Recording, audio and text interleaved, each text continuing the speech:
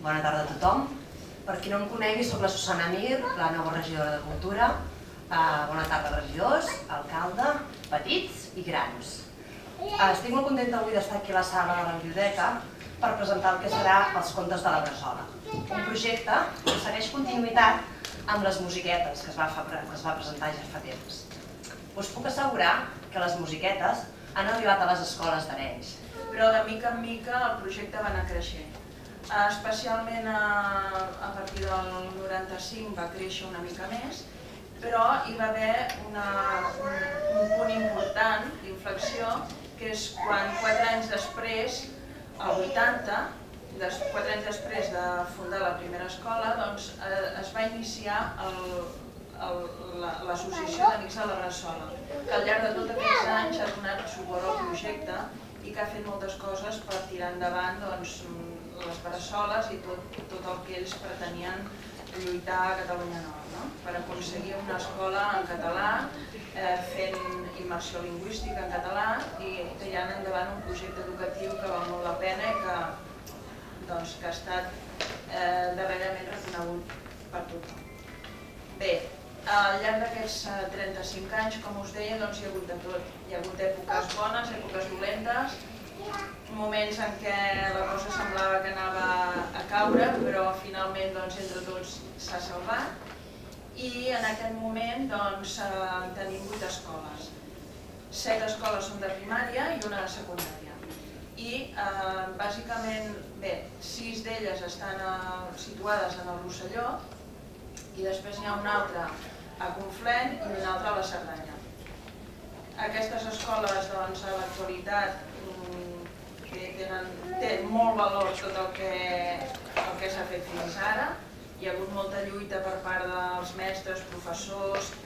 Bé, eh, era un encàrrec difícil, eh, un encàrrec molt difícil, perquè, a veure, clar, eh, jo n'he escrit molts de contes i això té un avantatge i un desavantatge. Té un avantatge, oh, que ja n'he fet molts, de tenir per la mà, sí, clar, pràctica, no? El desavantatge és que n'has fet tants que no saps què dir, no? Clar, clar has fet tants comptes, més contes.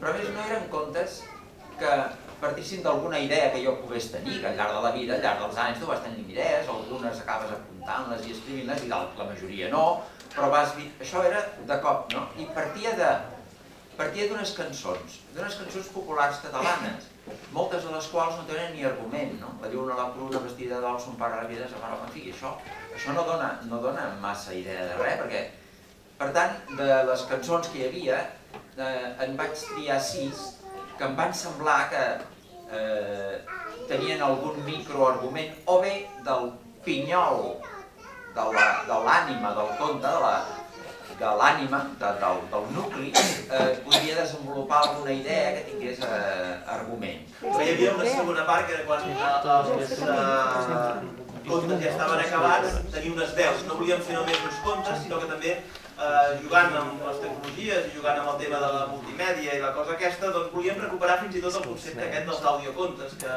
doncs, fa una, unes dècades van tenir cert paper i que també els volíem eh, recuperar i eh, també en la mateixa línia justament de barrejar accents i barrejar amb normalitat la realitat cultural i lingüística dels territoris de parla catalana d'arreu dels països catalans doncs vam agafar que uns llegien els altres i eh, els contes que no en aquest cas sí que la factura doncs, seria de, feta a Rubí o feta al Vallès, eh, però eh, sí que volíem barrejar-hi veus i eh, que, que realment fer evident eh, aquesta pluralitat lingüística doncs, que tenim com a llengua. A part de que estem en diferents projectes nous i vinculats a, al que va néixer doncs, el 2007 com a musiquetes per la Bressola, el vincle aranyenc de, de tot això, perquè doncs, avui dels protagonistes directes de, de l'últim projecte, que és el conte de, de la Bressola, hi tenim tres noms, tres noms pel que fa als intèrprets, però eh, dir que el llibre està editat pels llibres dels Set Ciències, eh, que l'empresa productora eh, al darrere fent la funció executiva és una empresa aranyenca que és Creat, que és, és l'empresa que portem eh, jo, però amb Antoni Ferron, Antoni Ferron i l'Isabel Roig són en musiquetes per la Bressola des del principi, des del 2007, fent possible el web de musiquetes.cat, que era ja el primer, el segon projecte, del Musiquetes CD, se'n van fer 85.000 còpies que es van distribuir amb Enderroc, amb Cavall Fort, amb eh, el Club Super 3, o sigui, en infinitat de revistes infantils i musicals, eh, i que d'aquell Musiquetes per la Bressola va néixer un musiquetes.cat, que és la web. Aquesta web la va estar portant, la va dissenyar en Toni, però la va estar portant durant dos anys la Isabel, i eh, va tenir mig milió, ha tingut mig milió de descàrregues, eh, a sèrio això, eh, de, a nivell d'internet.